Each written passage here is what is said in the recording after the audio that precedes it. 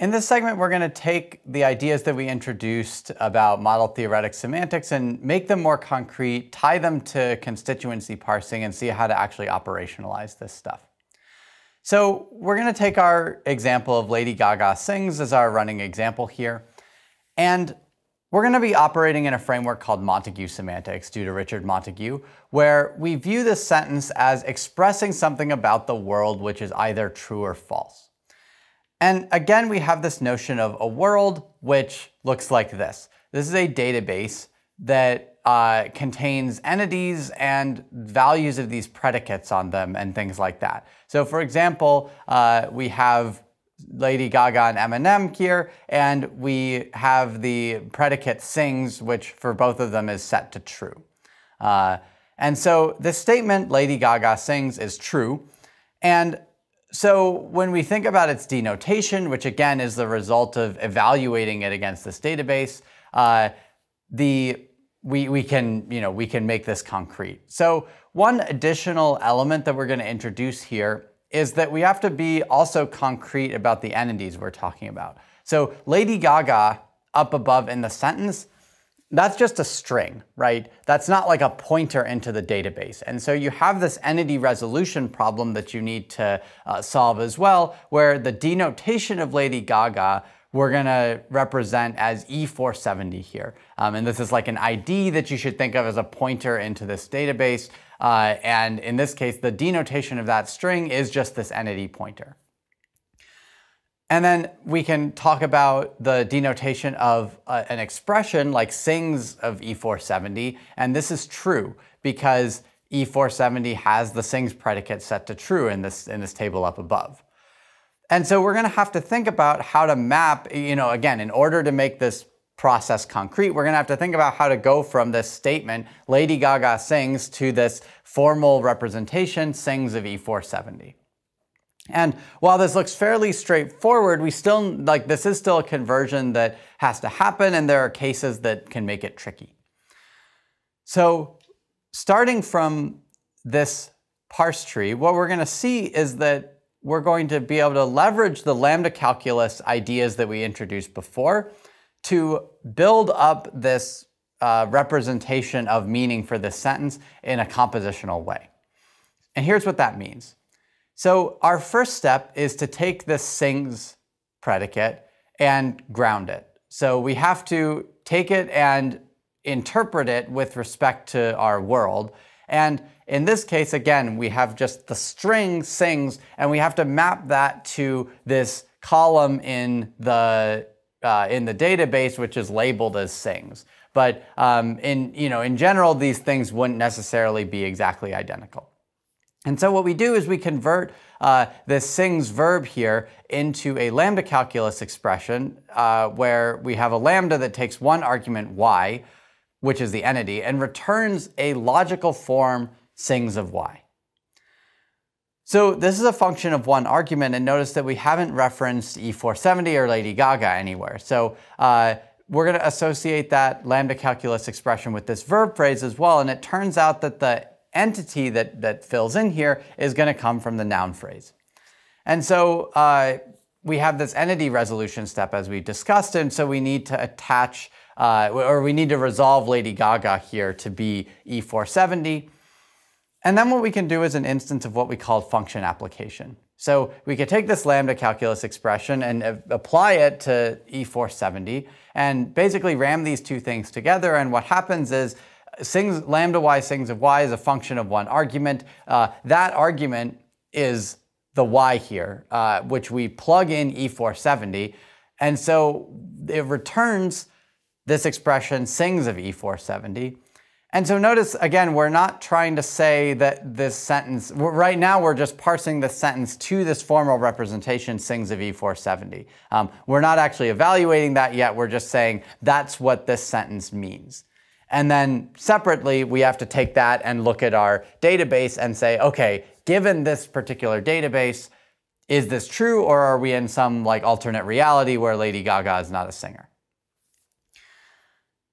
So the nice thing is that as you know, as much as I said that syntactic parsing didn't necessarily capture all the notions of semantics that we want, syntactic parsing is going to be a useful bridge to allow us to build these kinds of representations. And so um, there's definitely some friction here, and we're not going to get into the full range of issues, but we're going to kind of illustrate how the ideas from syntactic parsing can inform how we build these representations. So here's a slightly more complicated example. Lady Gaga sings and dances. And so the new piece here is that uh, in order to form the representation of this VP here over sings and dances, we have to combine these two individual predicates, sings and dances, and so what actually happens here is a sort of higher order function application, right? Where uh, to ram these things together with and, we have some function that takes two functions, the lambda y sings and the lambda y dances, and combines them and basically unifies their arguments into a single lambda y sings of y dances of y. Um, and then this second function application step is as before, uh, where we just plug in E470 for both things. So there, what this shows is that there are some general rules that we can use here. It's not all just like specific mappings of verbs to predicates.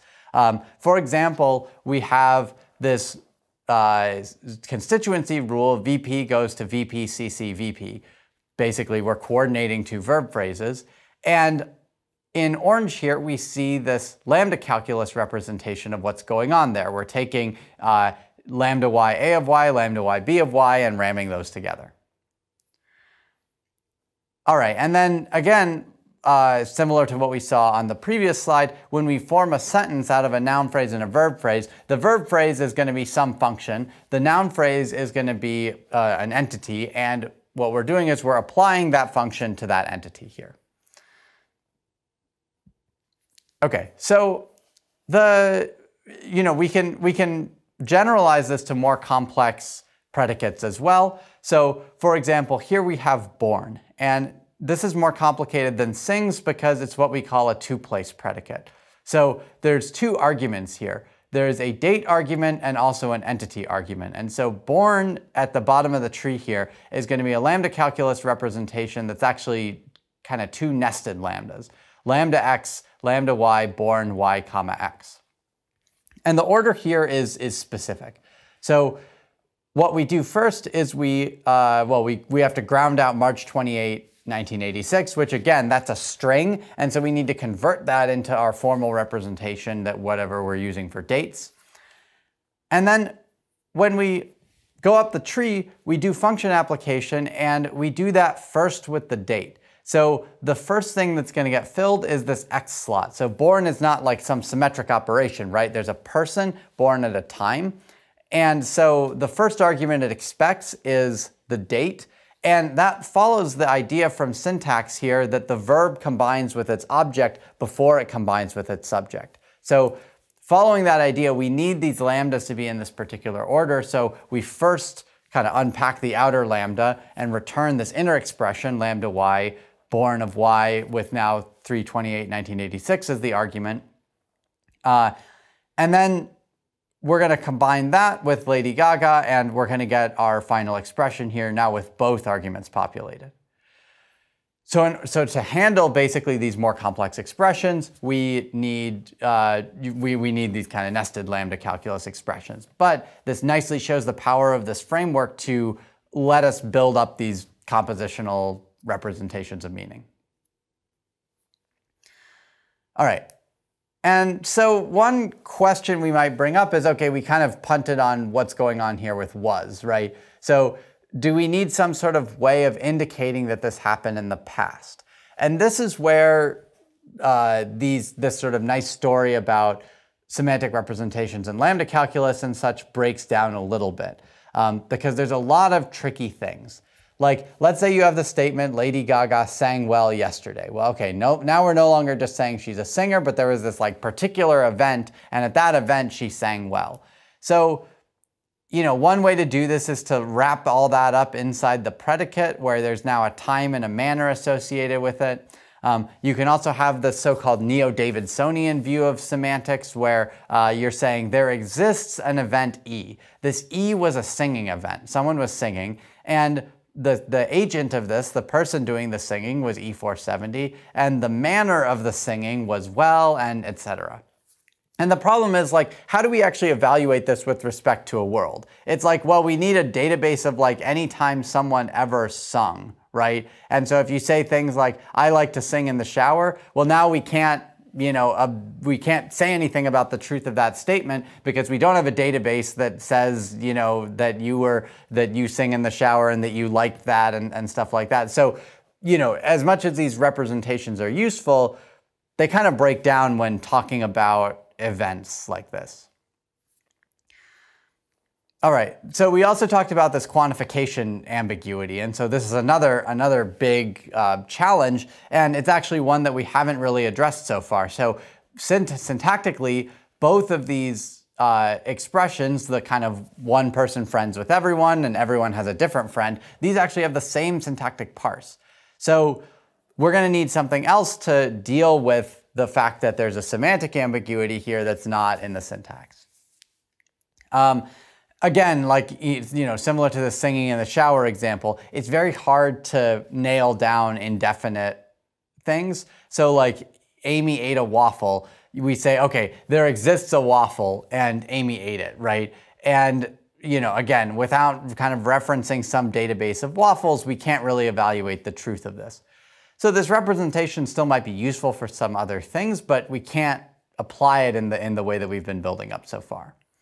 Um, and then finally, you have uh, these expressions which just really kind of stress this framework, like cats eat mice.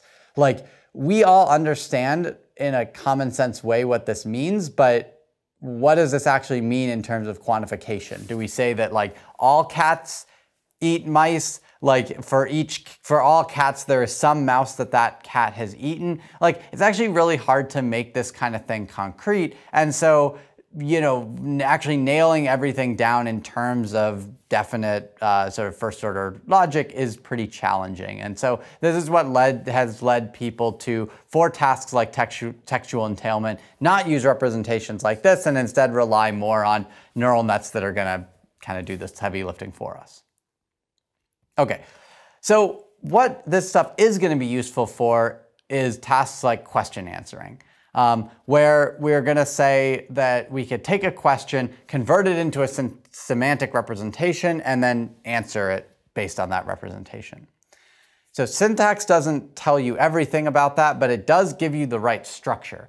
And so we're going to set up the problem of semantic parsing, which is building up these semantic representations and we're going to look at these specifically for these tasks where they really make sense, um, database querying slash question answering.